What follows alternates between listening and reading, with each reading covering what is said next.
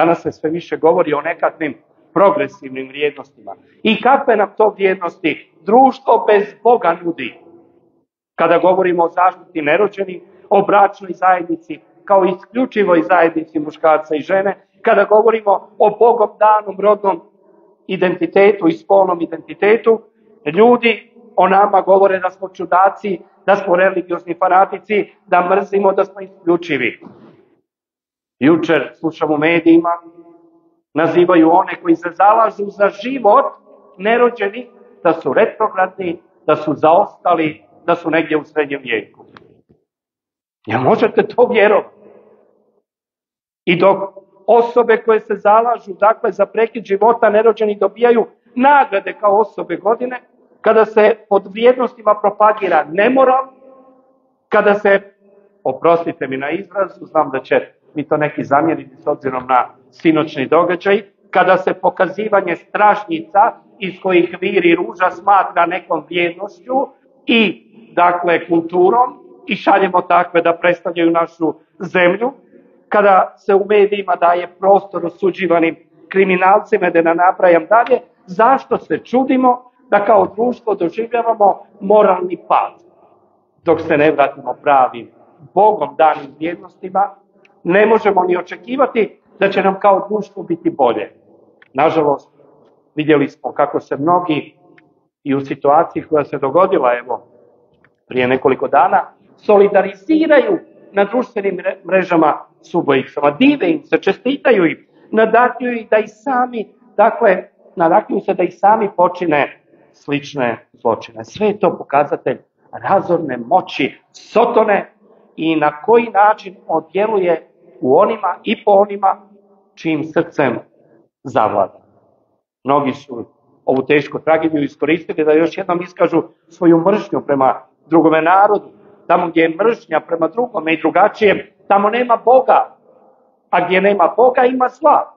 A oni koji mrze drugoga jer pripada drugome narodu, pa drugoj vjeri ako hoćemo, drugoj kulturi, oni su daleko od Boga. Dakle, rekli smo kako su mnogi ovih dana postavili pitanje, kako se pitaju gdje je Bog? Gdje je Bog? To je dobro pitanje, ali ne trebamo ga postavljati tamo kada je neka nevolja. Trebamo postavljati to pitanje svakodnevno sebi.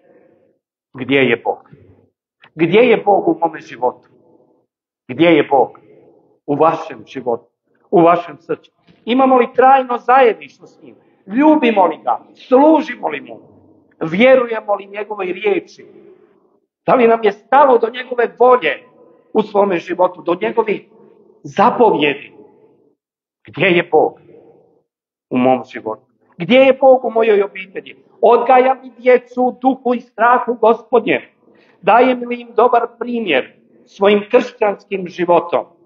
Odlazim li s njima u crkvu? Molim li se s njima? Čitam li Božju riječ s njima? Mnogi su ostajali doma dok su im djeca dolazila u crkvu jer su morala na vjeronauk. I danas su mnogi doma jer ih ne zanima ni Bog, ni crkva, ni Biblija. Ali kada dođe gusto, kada dođe problem, gdje si Bože? Gdje si sad Bože?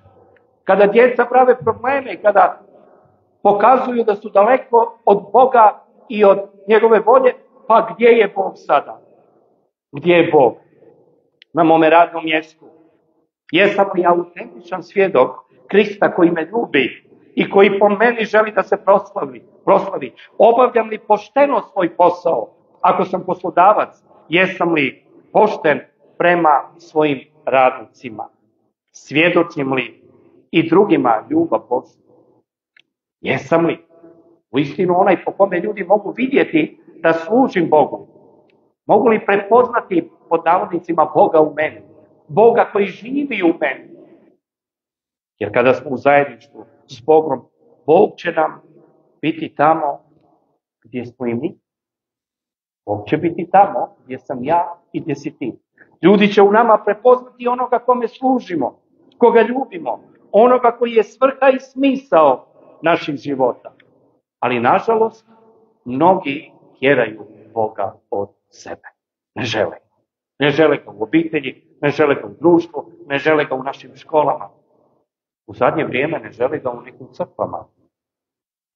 Jer propovijedaju i propagiraju samo neko progresivno evanđelje koje veze nema sa izbornim evanđeljem. Oni u te svoje liberalne crkve uvode takve različite prakse koje su daleko od objavljene Božje volje. Da, trebamo postaviti pitanje gdje je Bog. Trebamo postaviti pitanje, dakle, da li je doista Bog među nama? Gdje je Bog u našim školama? Gdje je Bog u našem društvu? Jesmo li ga protjerali? Želimo život bez Boga. Želimo školu bez Boga. Želimo društvo bez Boga. A kada dođe nevolja, prizivamo ga. Odnosno, želimo da bude tu samo tada.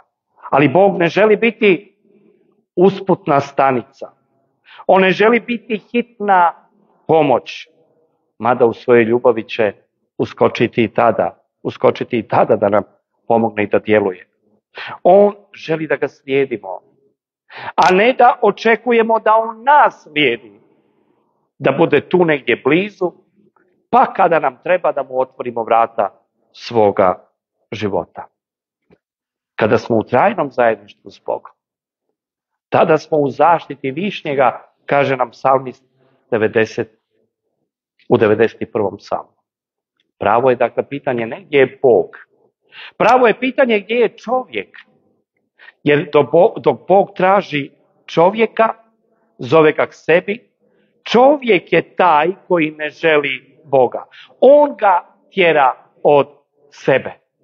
I onda se usuđuje samo u nevolji pitati gdje je Bog. Bog je tamo gdje smo odlučili da bude. Ako želimo da bude izvan našega života, daleko od naše djece, daleko od društva, ako želimo da se ne miješa u naše živote, zašto onda očekujemo da Bog intervenira samo u nevolji? Zlo koje se događa oko nas i koje i nas same pogađa, uvijek je alat za ozbiljan poziv da se vratimo Bogu. I kao pojedinci, i kao zajednica. Poput izgubljenog sina, da dođemo k sebi. Da shvatimo da je u domu našeg oca najbolje. Da je on, dakle, taj koji nam može dati jedini blagoslov, svrhu i cilj našega života tada zasigurno nećemo promašiti cilj. To ne znači da nikada nećemo počiniti grijeh, ali ćemo svakodnevno imati na umu da svojim grijehom žalostimo Boga. Dolazit ćemo Bogu koji nam iskazuje milost i daje snagu duha svetoga da živimo sa njega. Nažalost, sve dok gospod ne dođe, kraljestvo tame je uporno u svome djelovanju i mnoge zavodi. I što se bliži dan Kristovog slavnog povratka, Sotona sve više mobilizira svoje snage zla protiv čovjeka. Oni koje uspije pridobiti za sebe činit će zlo. Činit će ga i protiv onih koji služe Bogu. No nama je da se, na nama je da se vratimo Bogu. Da naše srce stekne najveću vrijednost. A to je mir Boži. Tada ćemo doista i u dobru i u zlu biti u sigurnim rukama onoga koji je rekao da nas iz njegove ruke ništa ne može oteti. Ništa ne može upraviti. Amen.